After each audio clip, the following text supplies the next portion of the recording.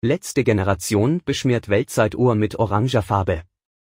Nach dem Brandenburger Tor haben Mitglieder der letzten Generation das nächste Berliner Wahrzeichen beschädigt. Die Weltzeituhr auf dem Alexanderplatz wurde am Dienstag von Aktivisten besetzt und beschmiert. Mitglieder der Klimaschutzgruppe Letzte Generation haben die Weltzeituhr auf dem Alexanderplatz in Berlin Mitte mit oranger Farbe beschmiert. Mehrere Mitglieder der Gruppe versprühten die Farbe am Dienstagmorgen gegen 9 Uhr aus vier Feuerlöschern auf die bekannte Touristenattraktion, die danach fast komplett orange war. Auch die Säule, auf der die Uhr steht, und der Boden unter der Uhr, bekamen viel Farbe ab.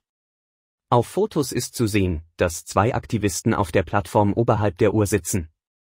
Sie halten ein Plakat hoch mit der Aufschrift Uns läuft die Zeit davon, Weg von Fossil, hin zu gerecht.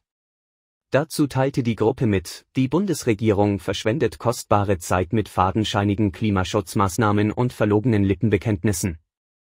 Nach Angaben eines RBB-Reporters waren am Dienstagvormittag rund 30 Polizisten vor Ort. Die Polizei rückte zudem mit einem Kran an, um die Demonstrierenden vom Denkmal herunterzuholen.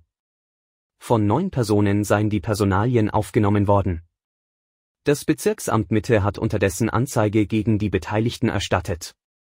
Der Berliner regierende Bürgermeister Kai Wegner, CDU und Innensenatorin Iris Spranger, SPD, kritisierten die Aktion in einer gemeinsamen Pressemitteilung auf das Chefste. Das Maß ist übervoll.